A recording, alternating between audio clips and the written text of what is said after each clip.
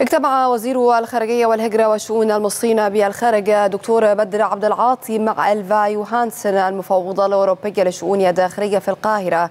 ناقش سبل تعزيز التعاون ما بين مصر والاتحاد الأوروبي في مجال الهجرة. أكد الجانبان على الشراكة الناجحة طويلة الأمد في مجال الهجرة. والتي يتم تعزيزها حاليا بعد توقيع الإعلان السياسي المشترك حول الشراكة الاستراتيجية والشاملة في مارس لعام 2024 والذي تعد الهجرة والتنقل أحد أعمدته الستة. شدد الجانبان على أهمية تعزيز النهج الشامل في التعامل مع ظاهرة الهجرة وذلك بما يتماشى مع الإعلان السياسي المشترك وبما في ذلك ربط الهجرة بالتنمية ومعالجة الأسباب الجذرية للهجرة غير النظامية.